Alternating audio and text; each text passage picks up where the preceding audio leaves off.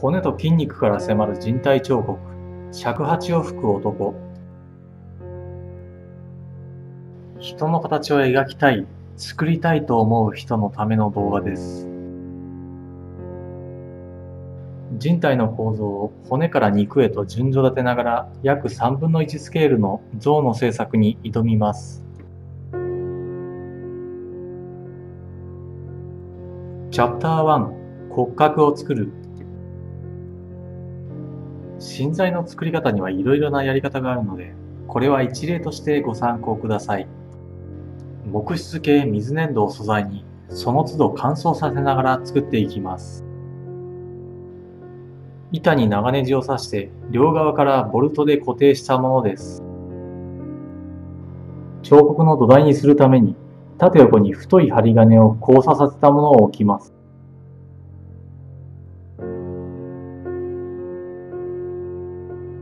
彫刻の土台の厚みは2、3センチ見ておきます。アルミホイルで棒を包みます。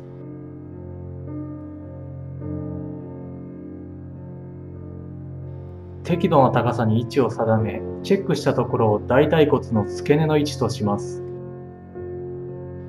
ここは約身長の2分の1あたりの高さとなります。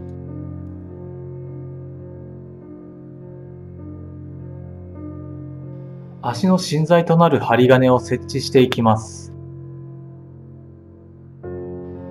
土台の要所に粘土をつけて固定しています。この工法は足の幅は後から変えられないので、ポーズも含め慎重な検討が必要です。足首の部分は頑丈に補強します。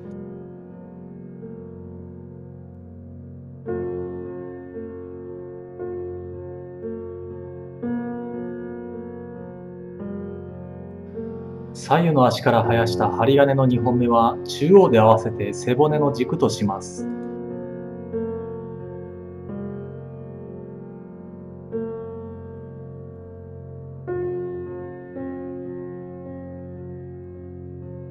芯材が安定したら、はじめの土台の役割は終わりです。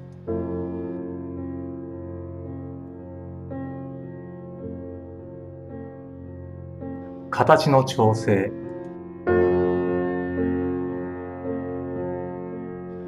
人物のシルエットを想像しながら背骨の曲線を設けます。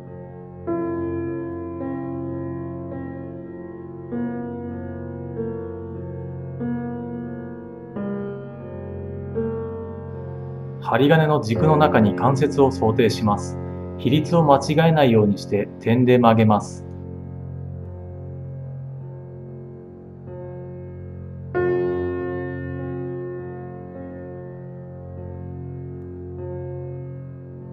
粘土が絡みやすくなるようにアルミホイルを巻きます。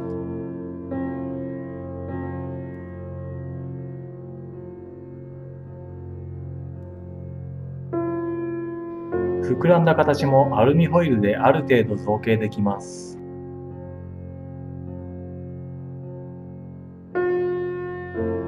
頭骨、胸郭、骨盤。これらは脳や内臓のように主要な臓器を備えており、一定の大きな形を保っています。したがって、どんなポーズをしても変わらない膨らみとして考えます。人体はこれら頭、胸、腰の大きなマスとなる骨と手、足、指といった細長い骨の構成です。これらは関節でつながり、関節部以外では曲がりません。したがって骨の相対的な長さとボリューム、関節部を知っていれば、どんなポーズも自然な人らしく表現できます。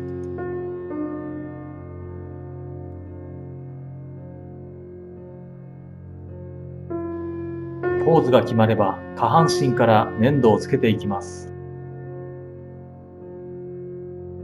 腰は体の要、骨盤から迫ります。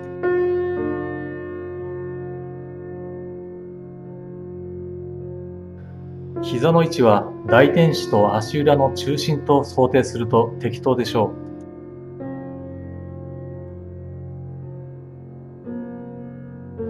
男性と女性で骨盤の形や胸郭との形の関係も違うので考慮します。膝下はそれぞれ2本の骨でなっています。上半身。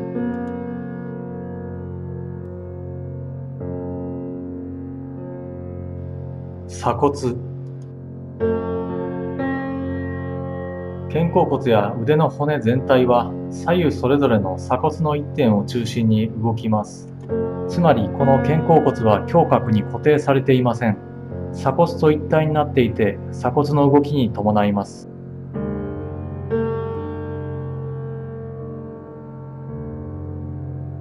胸郭は大きな膨らみがあり、内臓を守っています。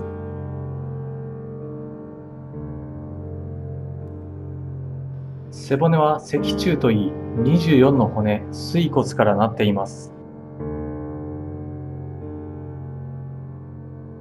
これらの一つ一つの骨から突起が出ています。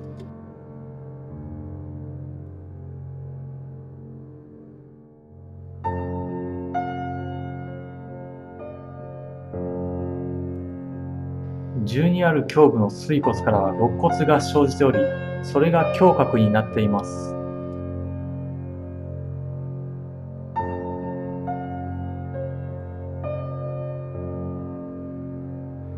頭部は骨の形が直接的に外見に影響します。モデルを見て骨格を合わせます。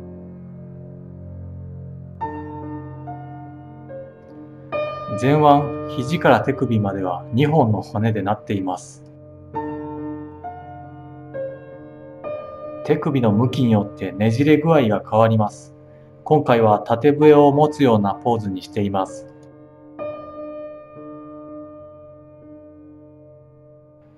チャプター2体幹のマッスル内臓の働き、心臓の鼓動、生命維持には筋肉が必要不可欠。中でも骨格に付着し骨格を動かすための筋肉は骨格筋といい、一般的にマッチョというと骨格筋が発達していることを言います。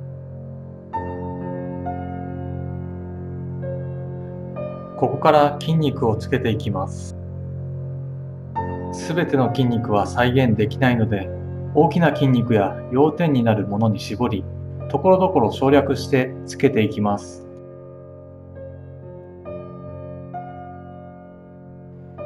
腸腰筋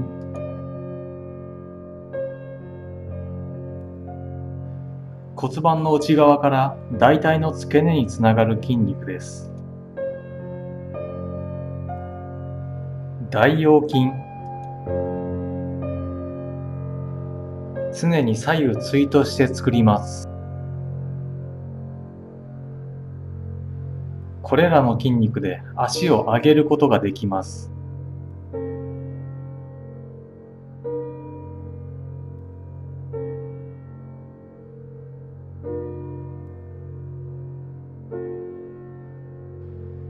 背骨を支えるインナーマッスル、多裂筋。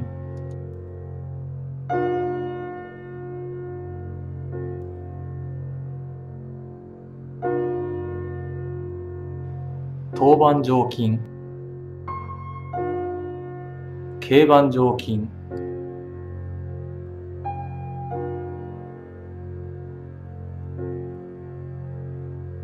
腰方形筋鼠径靭帯足の付け根のチェックポイントです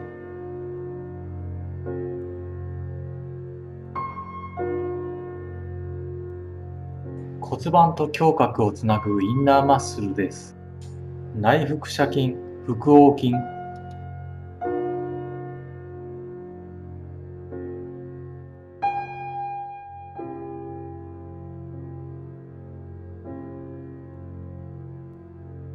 正面に走るこの筋はシックスパックで有名な大きな筋肉です。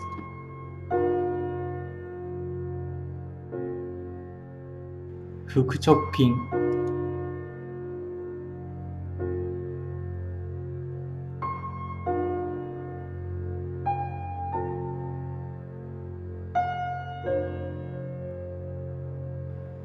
体幹の目に見える大きな筋で肋骨をぐるっと囲んで斜め前方に走ります。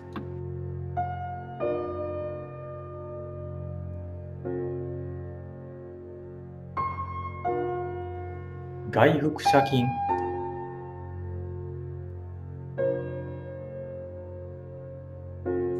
背骨の左右に対になって盛り上がって見える大きな筋があります。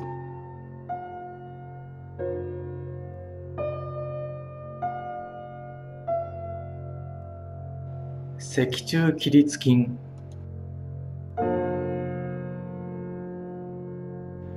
小量径筋。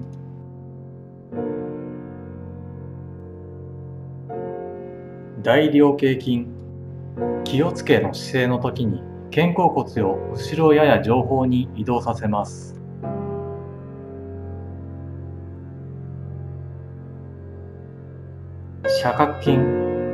内側で首を取り巻きます。3本連なっています。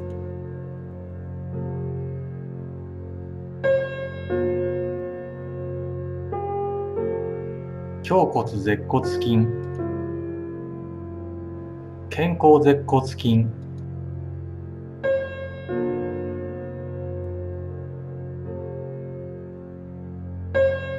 胸鎖乳突筋。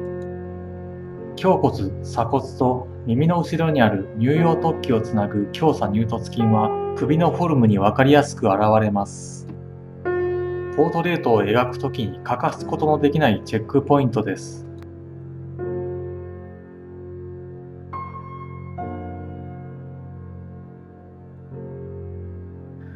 チャプター3下半身のマッスル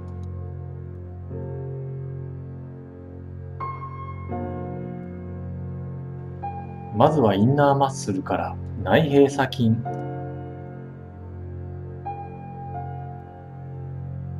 大腿方形筋。梨状筋。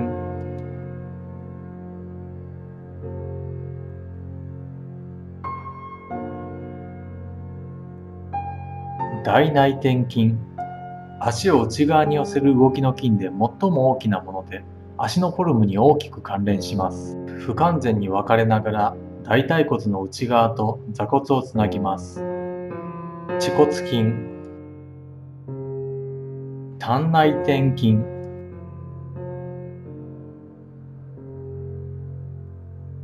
腸内転筋。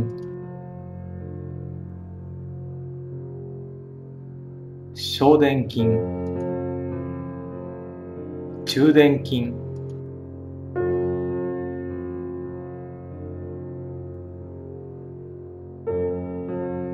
これらの殿筋は大腿骨を骨盤に固定しており歩行の安定に働いています。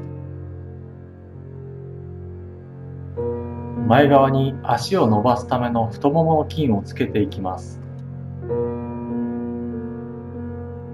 中間後筋。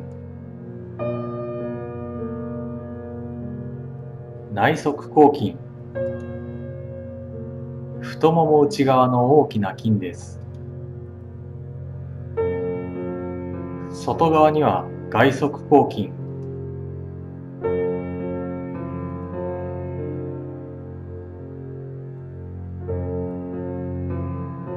大腿直筋。背面側には足を曲げるときや後ろに蹴り出すときに働く筋があります。反膜腰筋。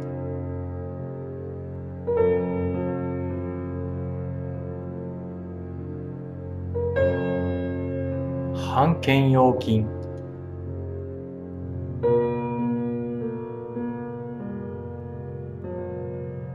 大腿二頭筋半肩腰筋半膜腰筋大腿二頭筋これら太もも背面の筋はハムストリングスと呼ばれます。大きなボリュームがあり力を発揮します。フォルムに沿った細長い筋がいくつかあります。白筋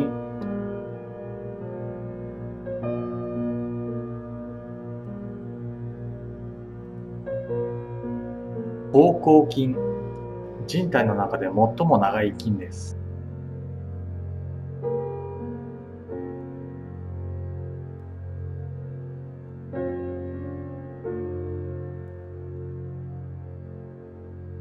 膝下の筋に迫ります。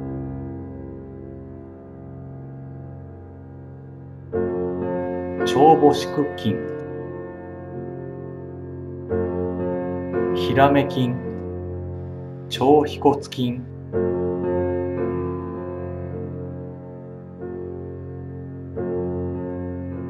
皮腹筋、皮腹筋はつま先立ちをした時に大きく形が変わって見えて分かりやすい筋です。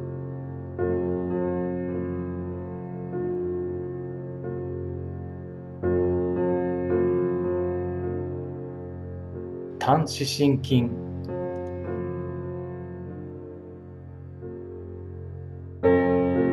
超四神筋。前脛骨筋。つま先を上げた時に膨らみを確認できます。人体は左右対。反対側も同じようにつけていきます。おさらいのつもりでご覧ください。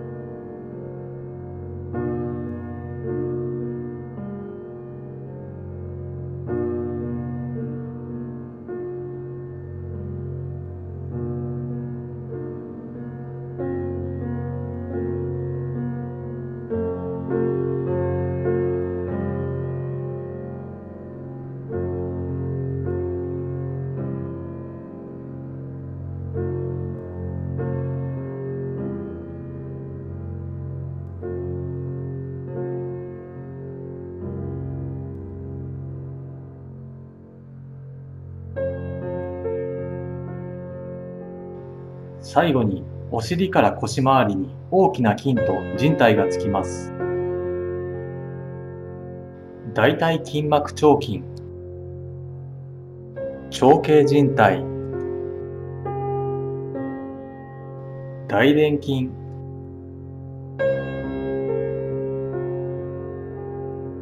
足には膨らみのリズムがあり、これが形の魅力となり、自然な人間らしさになります。チャプター4腕のマッスル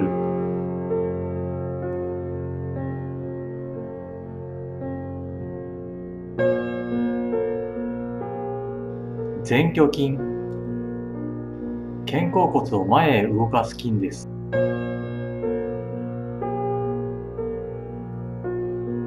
胸郭から肩甲骨や腕の骨に付着する筋はつまりは腕の力を発揮するためにあります。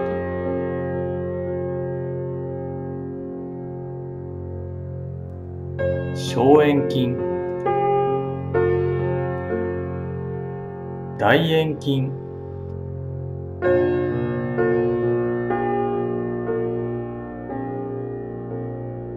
極下筋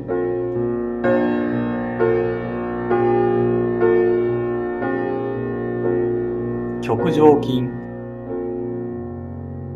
健康下筋右後腕筋小胸筋上腕三頭筋、腕を突っ張るための大きな筋です。上腕筋、上腕二頭筋、力こぶです。前腕の筋に進みます。海外筋、内側の肘から手のひら側には握ったり手首を内側に曲げる腹筋が多くあり外側の肘から手の甲側には手首を反らしたり指を伸ばす心筋が多くあります。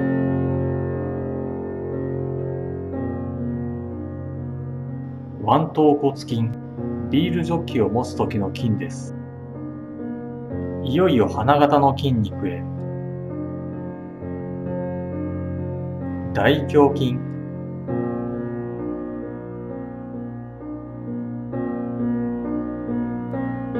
三角筋。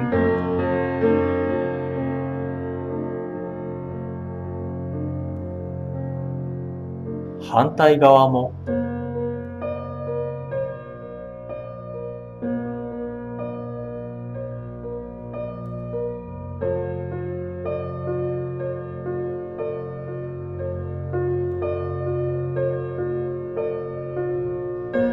広背筋、懸垂で鍛えられます。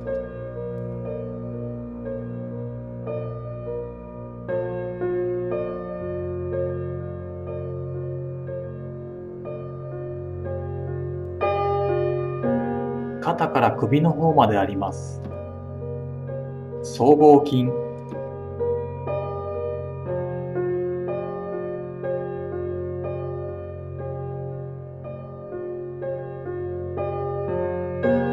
ャプター5頭と顔。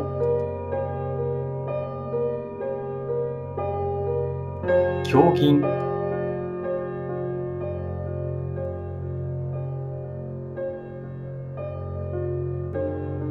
抗菌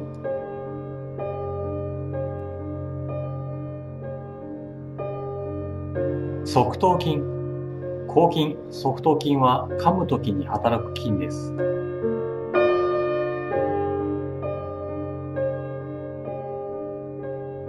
口輪筋眼球の挿入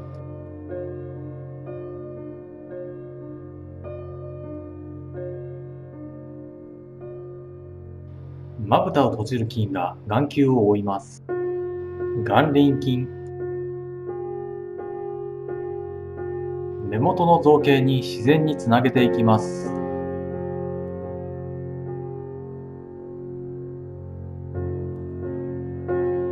鼻の軟骨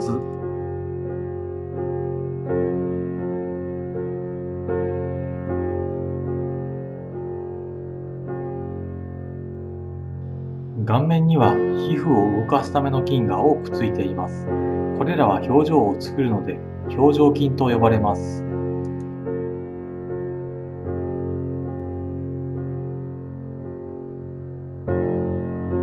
笑顔には欠かせない筋です。大胸骨筋。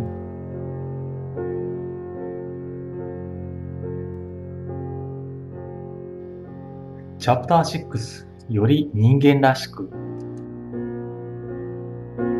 骨と筋肉がついたらそれ以外の要素も造形し人間らしさに迫っていきます。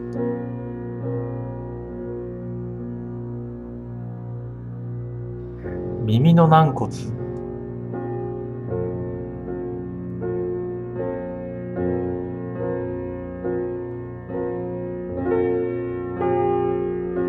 筋肉の隙間の脂肪の表現や筋肉のボリュームの調整をしていきます。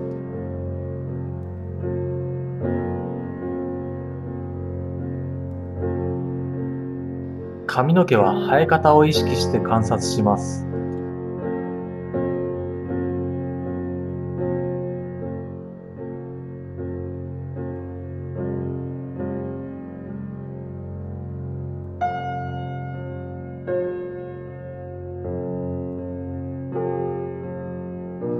シンプルで飾り気のないコスチューム。